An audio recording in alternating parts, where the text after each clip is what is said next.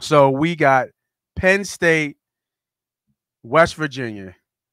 Line is sitting right now at minus seven and a half. Count what book you're looking at. It was pretty high. It was at like nine and a half. It's dropped down to seven and a half going to Morgantown out there at Penn State. Line is now total points is 50, uh, 50 and a half. So, how do we break down this game and how we look at this game?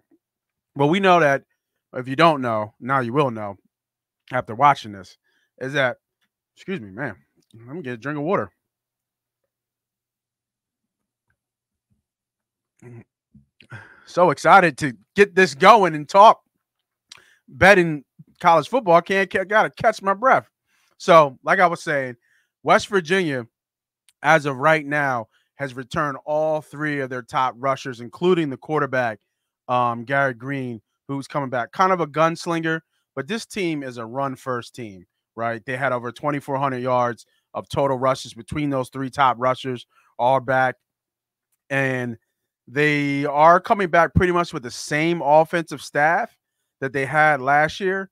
So this offense is not going to change really too much. It's going to be the same thing that we saw last year. Now remember remember 2 years ago uh, they came to Happy Valley, got smoked a little bit, 38 to 16 I think it was. That remember that was the game where Franklin ran at the end with like 6 seconds left and he ran a touchdown and crushed everybody's ticket for the cover and the over crush. I ain't gonna lie, I'm getting cooked. so um, I know Franklin was taking that and laughing at one to the bank to his uh, his Vegas buddies and his sports butters because you know that there was no reason to do it. The game was won, no reason to do it at all. So, but that's the game, and that's uh, gambling for you. But what I do like in this game is I'm gonna start off my first best bet with a little bit of teaser a little bit of teaser action. We need ESPN bets to do this. You can't do this on the other ones. So this is what I want you guys to do, right? Because Penn State, they lost some guys, right? But this defense was the best defensive line, probably statistically last year. Um, if you look at the stats, I think they were maybe third, but across the board, all top 10 at defensive line statistics. Um, Chop Robinson, they lost some, you know, these big programs, they lose people to the draft, right? but they do return their big running backs. They lost some some key guys up uh, in in the uh, in the trenches there, but I do believe that this team is still stacked, and Drew Allar is going to be um, on a run this year. They got a new offense coordinator, from what we heard or what we know. Uh, a lot of pa- pla- uh, pass action, play action, pass action, play action, passes. But what do you need to do to set up play action. You need to run the ball. Allen and Singleton are back. But the reason why I'm going and kind of telling you all this is because I really like the under in this game and I like it straight, but I like it teased up. So what we're going to do here is I think Penn State wins the game. We'll take Penn State. We'll take the total, right? Now you see me watching on the right here. We're going to go to teasers.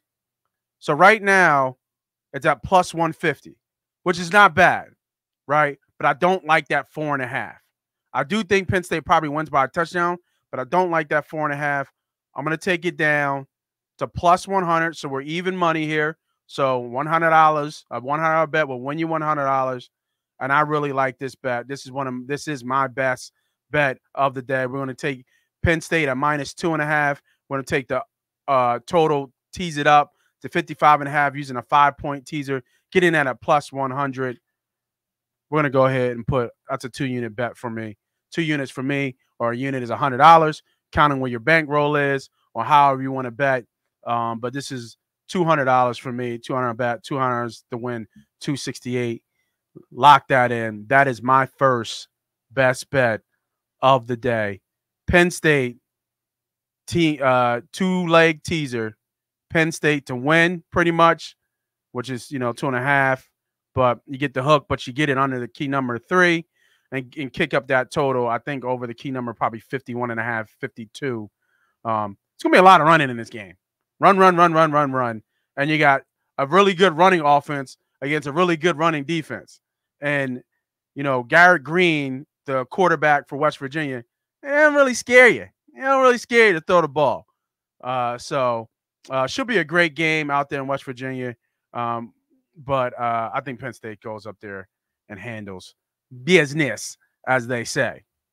All right. So that is my first best bet of the day. Make sure y'all lock that in. Drop a comment. We are if y'all like that Penn State bet.